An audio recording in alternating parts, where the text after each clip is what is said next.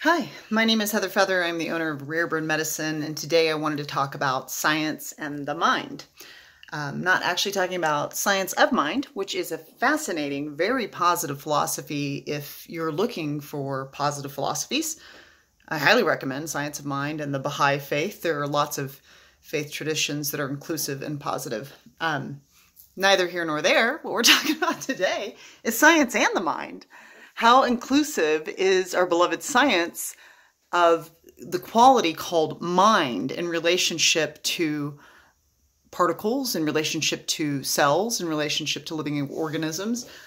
How much do we incorporate into the matrix that is science? Mind. And um, there are aspects and facets where science has touched on this principle. Um, so I guess it depends on kind of where you park your eyes. Specifically, what I'm wanting to talk about today is Bruce Lipton. Um, he's what I would call the forefather of epigenetics. Epigenetics is where we look at the influence of environs, the influence of rather than altering the the gene DNA and the intelligence within a given gene, it's alteration in the environs and how how genes express in alternate environs. So Bruce Lipton is somebody that was studying um, stem cells 47 years ago. Before the masses even understood the concept of stem cells, he was focused in that vein of study. And because he was so focused in, in this quality of research, he started really looking at what is causing cells to operate in the way that they operate? Are we, one of the things that he held, which I think is a brilliant concept to consider, is that if genes cause us, you know, like my um, grandparents and my parent had cancer, therefore my likelihood of getting it is much higher probability due to genetic programming being the reason that we have the given traits and health that we have then um, he he elucidates over and over again in his videos, and that means that we're victims. We're victims to the you know the paradigm we were born into. This is just my lot in life. You know, it just so happens that I'm going to get cancer very likely because it's back there in my ancestry and my gene pool. He has found through his studies about 10% of what we in modern day research and science find to be um, connected or linked to your genes, your genetics, 10% of the likely manifestation of you having it is linked to your genes. So this is revolutionary to the way we collectively pretty much consciously think about illness. We think about dis-ease as a thing that is handed down in a lot of ways, you know. Lots of lots of variations of dis-ease are handed down he is has through his studies and through his focus so i highly recommend if you have youtube certainly look at rare bird medicine subscribe if these videos interest you but also would invite and invoke for you to research and look up bruce lipton. He's, he does a lot of really silly videos with his nephew who's his media director but he really is a brilliant I mean, to, to be the forefather of this concept of epigenetics, I believed he worked with IONS, the Institute of Noetic Sciences in Petaluma as well, um, because I once I once got to hear some of his teachings through an IONS presentation, our Institute of Noetic Sciences.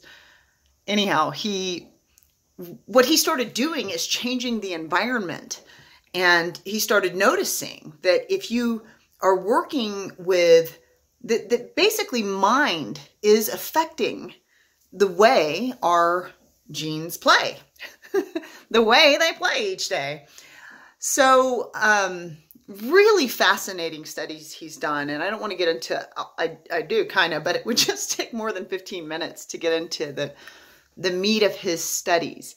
Um, so I want what I will do is give you some examples of how this is true. So the placebo effect.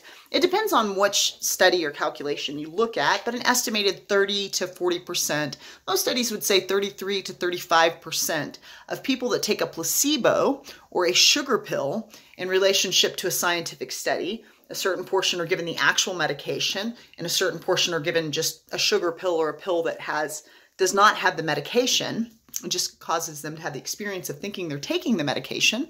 They're not told this is not the medication. They're told this is the medication. 30, so we'll say 33 to 35% have healing as a result of having taken a sugar pill. So there is that that is actually an exponentially high percentage from a scientific study perspective. 30, 33 to 35% is a is a large result, you know? So um, to have that kind of result is is fundamentally evidential that that healing of disease or um, some disharmony in the physical system mind or consciousness must have an influence because they were not given the medication. They were just it's just their consciousness or their mind that was told that they were given the medication and they healed. What? One of the another component of this it's just kind of a simple look into a slice of the pie called mind and its influence on our genetic results and its influence on our health and wellness and its its influence scientifically. Um, aside from the placebo effect concept is this quality of many there are many adopted children adopted that get the exact same type of cancer that their adoptive parents had. So not in their gene pool. They were adopted. They came from a different genetic line, but yet they they have the exact same type of cancer, the exact same type of illness that their parents that adopted them have.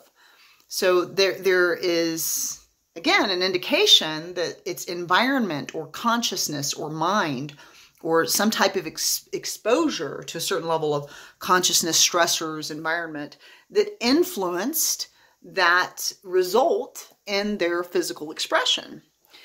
So, so those are some of the simple concepts um, that kind of can illustrate and have us take a deeper look at why it could be viable that mind is a larger influencer. Um, we know this in quantum mechanics because it is the observer that causes the probability wave of subatomic particles, as we've been talking about, to collapse and become a particle in a specific space-time location. So um, they remain probability waves until the observer is present, until the consciousness is present. One of the beautiful things I really loved when it was brought to my awareness is where is the mind? And and and immediately when I was first asked that many many many moons ago, I thought, "Oh, here it's the brain." But no, that's the brain. Where is the mind? So there's a beautiful organization called HeartMath Institute and they did studies on our heart and studies on the electromagnetic field of our heart. And the electromagnetic field of our heart is the largest electromagnetic field out of any of our organs, including our skin, which is our largest organ. It is it is the large. It's about three feet. So anyone anyone within uh, a three foot radius of Heather Mackey, anyone that is within that radius is literally within the electromagnetic field of my heart.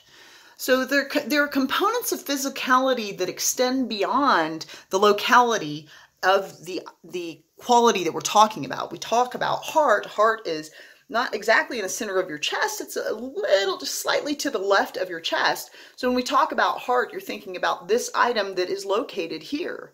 But if you want to comprehensively scientifically talk about heart, heart extends to three feet radius around, uh, you know, whatever entity it's within. So its its influence of locality is much larger and vaster than we initially understood as we expand in our awareness of science. So the reason I, I, I love epigenetics and I find it fast, fascinating is because so much of the conditioning and the programming in this realm is is this concept of being a victim to one's genetics. And there are more and more and more and more studies that are really um, awakening consciousness to the highly viable likelihood that it has more to do with environment, it has more to do with stressors, it has more to do with consciousness, it has more to do with your attitude, than it has to do with the lot you're handed. And that is an empowering, empowering thing to be offered. And in order to be offered it, we have to hear about it. And and I actually used to work for a Science of Mind church, and that was where they had a, a talk from Bruce Lipton from the IONS or Institute of Noetic Sciences, and this is where I was like, oh, oh my gosh, it's not our genes. Wow. So, so we actually have the capacity to choose our environment, and I understand that there are many components of that. Um, maybe you are impoverished, or maybe you don't have the finances to physically change where you live doesn't change the fact that there's a free park somewhere you can go sit in. doesn't change the fact that you can choose this XYZ book that offers your consciousness positivity um, or this YouTube, you know, of Bruce Lipton or this awareness that will awaken your consciousness to a new environment, to new consciousness, to new awareness. So I think it is just a beautiful gift to all of us to have the opportunity to understand epigenetics a little bit. And I wanted to offer that to you if you haven't been offered the awareness of epigenetics. It's a fascinating thing to study. I am also doing a, a, class called Be a Healer. So we have three classes coming up from Rare Bird Medicine. Two of them start next week. We have Read the Tarot, which will spend six weeks going in depth into reading the tarot. And my goal is always to hand you an understanding that when you walk away from the class, you go, oh my gosh, I, I kind of know these cards. I don't even have to look at the book. I can actually look at the card and I, I know what this card means. Um, because that, that was something I really craved in the in the 32 years I've been reading and doing and learning the tarot. Our Be a Healer series is going to, we're going to look at um, the concept of being a psychic surgeon, a medical intuitive. What does it mean to heal in in arenas that are not steeped in the physical? what does that mean to be a, healer in alternate realms? We will look at your, you know, your primary modality that you use uh, psychically. Everyone has psychic capacities. Are you more clairvoyant? Do you tend to get images in your head? Do you tend to get feelings? Do things tend to feel off or on for you? Is it more like you hear a, a calm, still voice? In response to something, or do you have like more claircognizance where you have sudden illumination of something you didn't know before? So we'll, we'll look at those modalities and find your ideal modality to become a psychic surgeon or a medical intuitive. And we'll look at healing in general. There, there can be a lot of uh, healing concepts of healing is where we, we, the healer, take healing energy and send it to the sick. And so we're also going to talk a little bit about the distinction between that and actually holding consciousness of wellness using the power of the mind to see the result in time. and we have an upcoming class as well called Be a Witch, which we will look at um, witchcraft, Wicca, the craft. We definitely will look at Heather's perspective on it after 32 years of studying this topic, and I have what I find to be my truth. But as always with my classes, we will receive your beautiful wisdom and sharing if you care to share. We'll receive a, receive a community of like minds, and we'll discuss variations, aspects of witchcraft that are not for me, but maybe they're for you.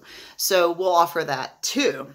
If you go to rarebirdmedicine.com and click on the classes link, there is going to be further information on all three classes and information on registering for those classes. And today I just wanted to say, what environment are you giving your mind this day? What environment have you placed yourself in? Is it a peaceable one? Is it a calm one? We do know very well that stress is one of the leading harbingers of, of illness and disease in this realm. And, you know, heart disease is one of the number one killers.